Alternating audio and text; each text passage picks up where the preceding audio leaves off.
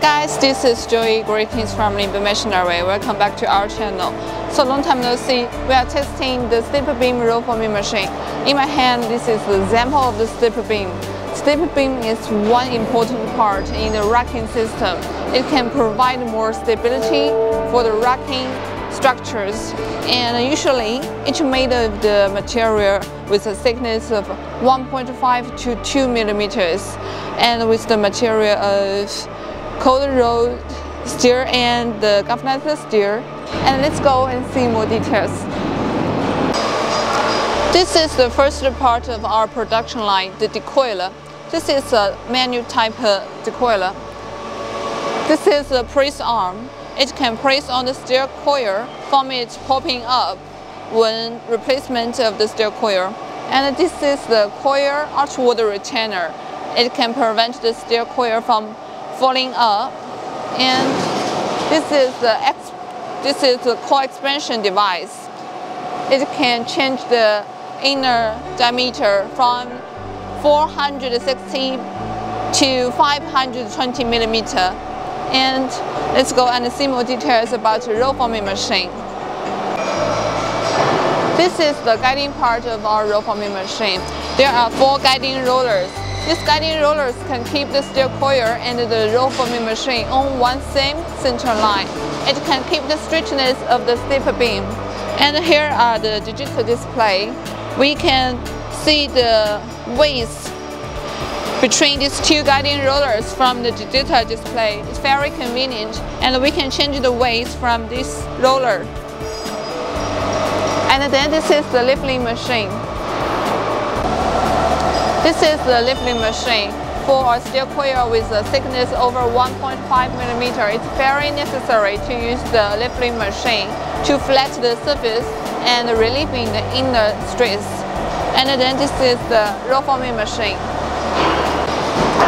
This is the main part of our roll forming machine. This roll forming machine has the wall panel structure and a chain driving system.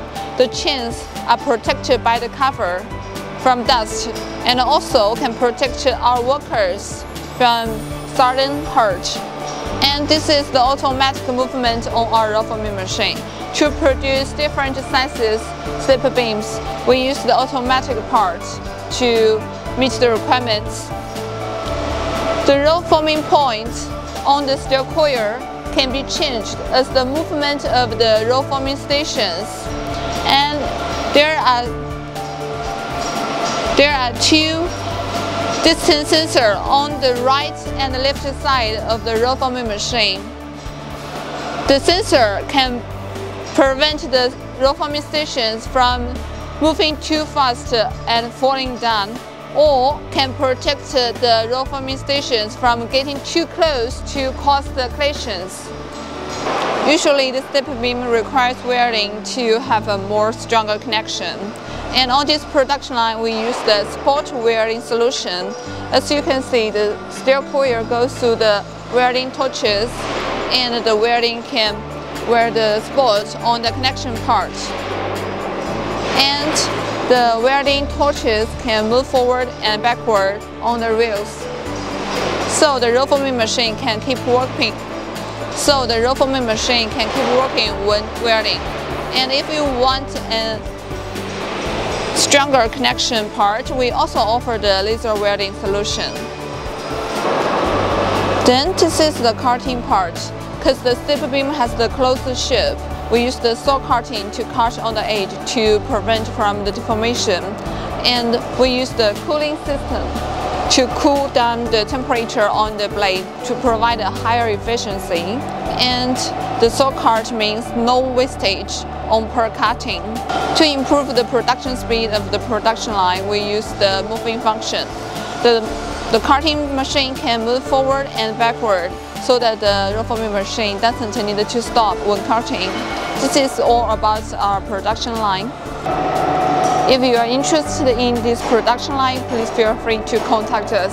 One production line like this requires about 90 working days to produce and we can plan the production for you to ensure a timely start to your project.